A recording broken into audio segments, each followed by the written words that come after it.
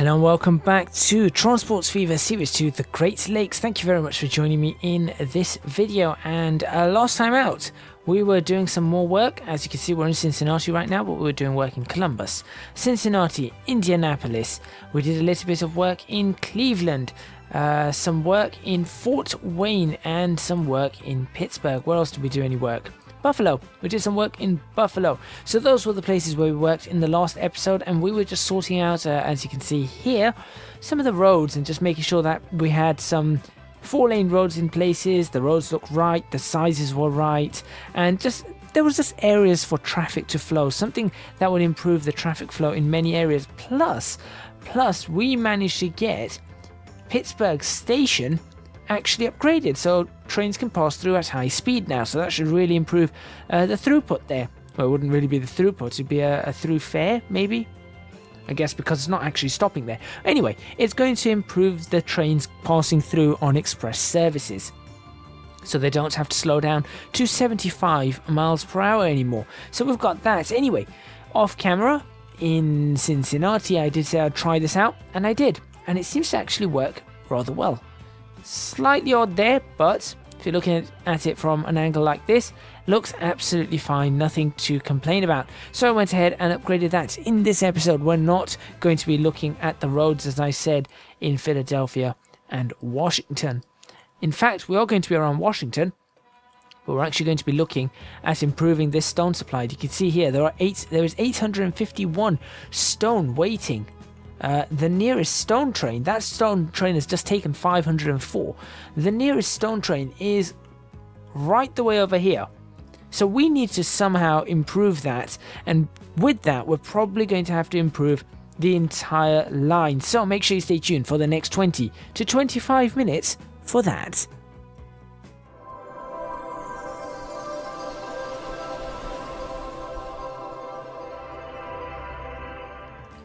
Okay, so here is the stone train. Here is the stone train, and it is 47 years old. So now it's 47 years old, which means it's been it's been in operation for quite a long time. In fact, it started in 1935 then, uh, if my maths is correct. 1935 to 1982 is when it's been running. We need to get this train replaced.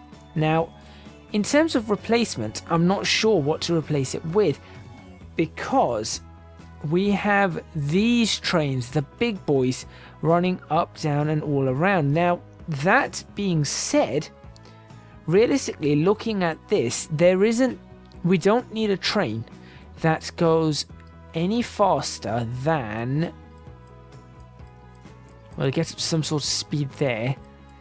65. I would say we don't need a train that goes any faster than 80 miles per hour. How is that 75? What? How is that 75 but that's 180? Okay. Um, anyway, 85 miles per hour. I think we don't need a train faster than that, so we've got that uh, to actually consider. So we'll go for the replacement vehicle. Oh, right over here. And we're going to do this in this episode because we have upgraded Indianapolis, which means we should be able to get the stone uh, in and out a little bit better. Now, looking at these speeds, this is what we've got right now 60 miles per hour is its top speed. So that's definitely going to improve once we get rid of this uh, Class 9000. Now, to replace the Class 9000, we could put the big boy on. We really could put a big boy on. I know they've been around since 44, but, you know, it's it's a possibility. The other things we could put on are these, but these are very slow. Or we could go for a full-on one of these if we could, but we need to find uh, one that's actually capable of a decent amount of speed. Which should be these, I think. Yep, we've got these. Now I think maybe, maybe since we are slowly moving away from steam, think maybe these are these are the ones we want. However, that being said, do I want to run this and continue running this as a steam line? Because I think it'd be pretty awesome to have a steam line running along There's A few freight routes that just still run steam. But what I'm going to do is I'm actually going to swap into one of these first, We're going to try one of these first. And if you guys in the comments do not like this, I'm going to go back to a big boy. And we're going to make sure that we can carry uh, 42 gondolas. Uh, actually, more than 42 gondolas because that's a 530 meter train. We're going for a full 600 meters. So again, let's have a look at the current train. That is 60 miles per hour, tractive effort of 96,000 pound feet, uh, and about 5,000 bhp or HP at the wheels. So this has got more tractive effort, but not that much power. So what we probably need are two of these. That's that seems reasonable. Now the question is, which one? There are other freight, there are other ones around we could look at. 65, 65, 50, 65, 70, maybe. 65 again. That, that's the problem. If these ones could do 80, I would have picked these. If any of these could have done 80, I would have definitely picked them. But they're just, there isn't any that can do 80. Unless 70 is going to be the, the speed of choice. But I feel like we could reach 70 miles per hour. Quite easily. So I think I'm going to have to take this, but which one now? Norfolk and Western? I uh, don't think so. Chicago Northwestern's a possibility. Let's just try this. If it doesn't look right, we'll always get it replaced. We'll get the locomotives replaced. So we're going to have two. And then we want... Obviously not those. They're very slow. You can see that's... Oh, no, wait. Those are 90... Hello. 99 miles per hour. You can take 18 stone. How much do each of these gondolas take? Is a standard gondola? I don't know. I'm assuming so. 12. And how big is a gondola? 12 meters. How big is an open hopper?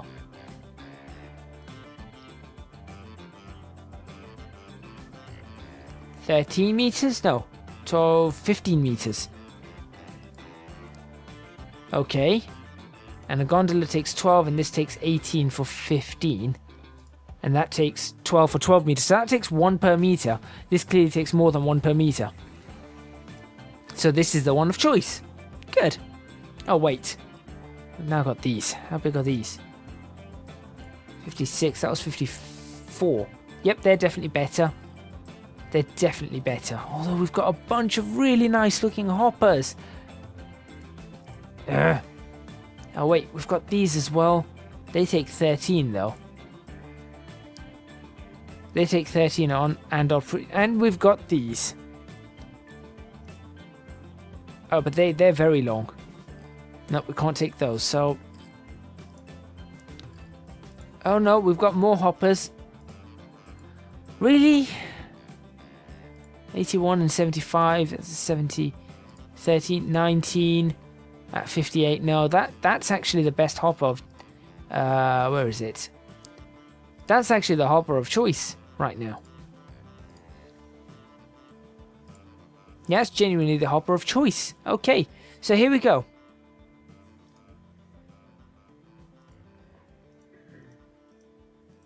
Can you change the color of them? I'm not sure. Uh, we'll do. We'll change. We'll try and change the color.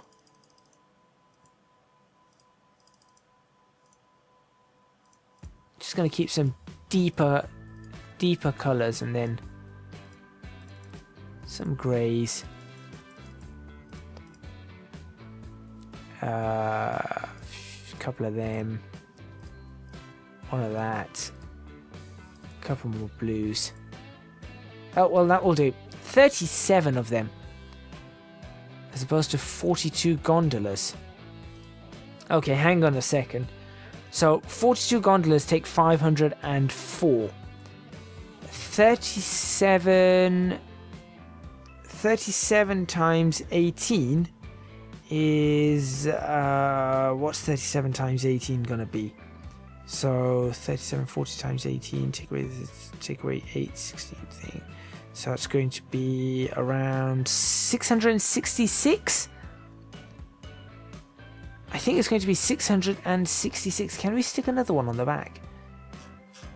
Will it will it accept a 608 meter? I don't know. That's a lot more. That's definitely a lot more. Now, if we take away 18 and give it another locomotive on the back, will it be happy? Let's do that, because that might give it the power to go around. And yes, it's slightly less. It's what, um, it's going to be 648.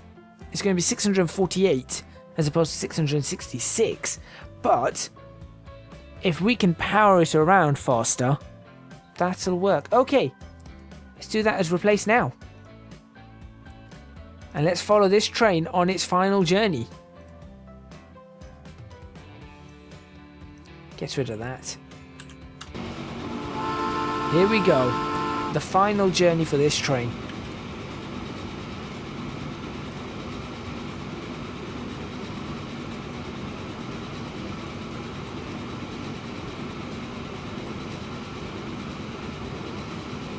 should really be checking the speed, I guess. Oh no, 60. Yeah, see what I mean? At this point, we could be pushing up to 70.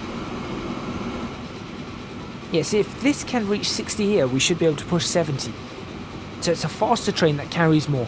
That might really help us out. In fact, no, it's not. It's not a, a question of might really help us out. That will really help us out. Uh, that looks like a decent screenshot opportunity. As long as we don't get photobombed by a train coming the opposite direction. Hello.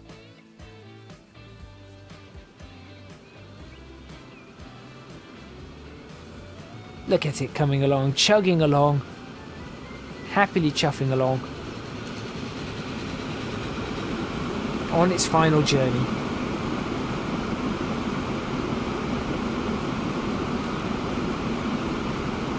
That's a lot of rattling. The thing is, it sounds very realistic, actually. Oh, that's an even better screenshot, isn't it? If you can get the farmhouse in. Some sign of civilization, essentially. I think I got that. Okay, so I'm watching it here. 61 miles per hour.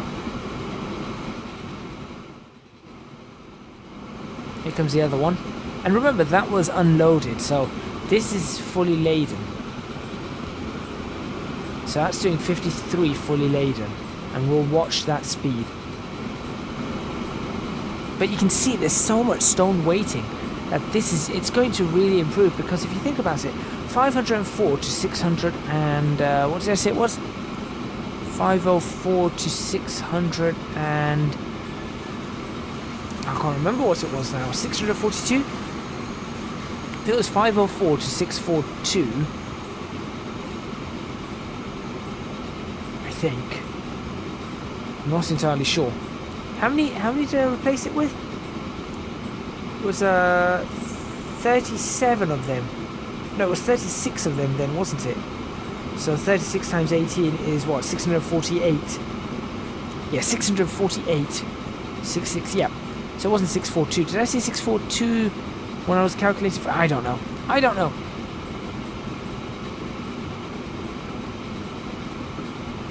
Anyway, so 648. So that is an that is definitely a that's a huge increase. That's an increase of 140 144. Yeah, that's an increase of 144 units to be carried each time. Plus they'll be going faster So we're looking at maybe an increase in speed overall of... I don't know, I don't know, about... Maybe a 15% increase if you take into factor into account acceleration uh, off the slow corners and things like that.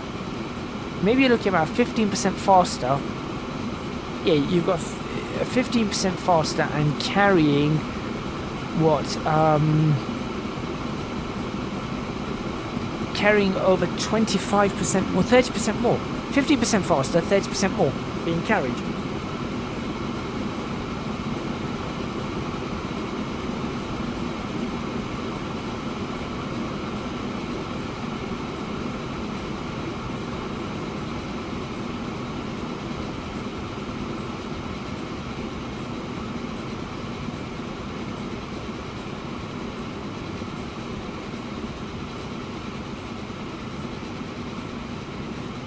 Yeah, I think so. Well, we'll join this on the on the final run. In fact, uh, I should probably want to pause it. No, not there. Don't press that. There, because that's actually quite a quite an interesting look. There we go. In fact, that might be the screenshot. If I can get the mouse out the way. Go away, mouse. One more pixel, please. There we go. Thank you. That's uh, that's actually a good look because that. Oh look, 1,000 waiting. 1,000 are waiting. That yeah, we've definitely got to do this. Well, let me speed this up anyway, so we can get it around this.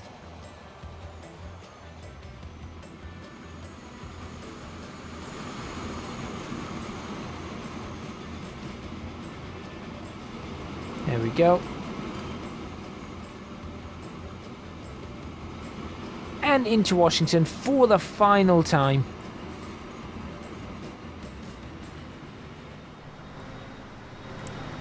Look at that, one last time in. Uh, autosave or what? And now we're changed up. There we go. That's a full-size train. It's carrying stuff. It's picking things up. It's carrying hoppers. This is going to be an interesting journey. All of them are black.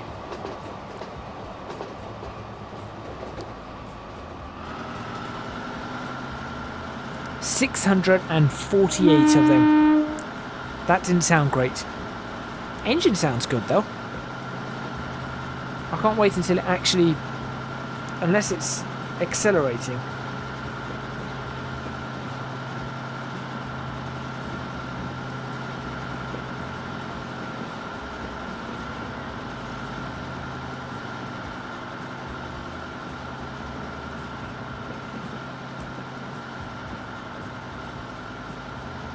Okay, let's fast forward this out of here. Let's watch the acceleration. I still think it'll be faster. I still think it'll be a lot faster. I, mean, I don't think... Is it struggling to come up the hill? It's definitely got the torque. Does it, does it have enough power, though? Surely it must have enough power. How much does it... What's the mass of this now?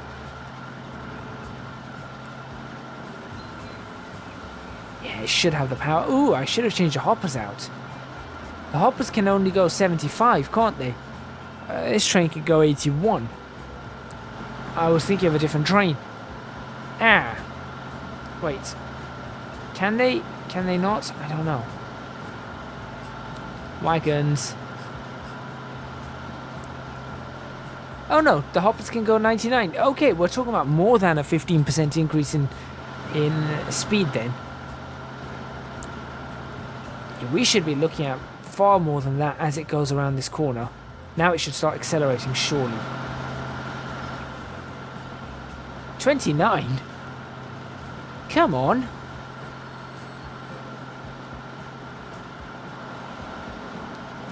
Give me something. Or is this going to be a huge disappointment to end this episode? Do you guys just not accelerate? 33 downhill. Now it's now it's going to take some. Yeah, now it's going to take it on a little bit. 40 or almost 40. Oh, don't tell me I'm going to have to put another one on this. That's going to take another. I don't fancy bringing the. That's going to take another two hoppers down. As long as it can reach the speed, as long as it can reach in excess of 60 miles per hour, I know we're doing okay. at some point it has to reach an excess of 60. Right?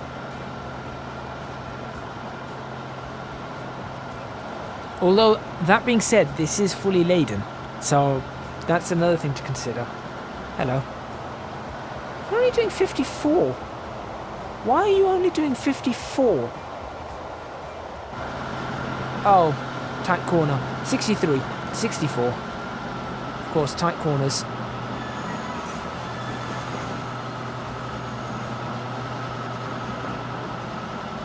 Fifty-five. Hmm. Maybe I've got this wrong. Just maybe. I don't know. Okay, at this point I know I was doing 60 in in the train coming up this way. And this one I'm doing 55 going the opposite way. But accelerating. So maybe I'm able to keep my speed up? I don't know. I don't know. Do you think I've got this wrong? Let me know in the comments box if you think I've got this wrong. It's doing 60 around these corners. It's going to slow down for that. It's not going to slow down for that. Okay. And we're back up to 60. 62, 63. So we're faster. 65. Okay, now we're definitely faster. But by how much?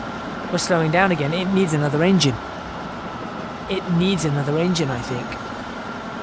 Oh, that's not... How can three diesel engines not keep up with a single steam engine? And with that disappointment, thank you very much for watching. Please remember to hit the like button if you like this video. Subscribe to the channel for more videos on Transports Fever, Series 2, The Great Lakes, and then Series 3, The Great Western Railway. Leave a comment in the comments box below, letting me know what you think. If you think I've made a mistake on this, I'm sure you've already told me, but um, I probably have. Don't forget to support me on Patreon, www.patreon.com slash ecgadget. Your supports would be massively, massively appreciated, would really, really help me out. Uh, also, you can follow me on Twitch if you're not uh, if you're not watching this on Twitch. That's twitch.tv slash ecgadget, and you can find me on social media at ecgadgetlp on both Twitch, uh, sorry, on both Twitter and Instagram. That's all from me. I'll see you guys next time in Transports Fever Series 2, The Great Lakes. Yeah, this has gone wrong.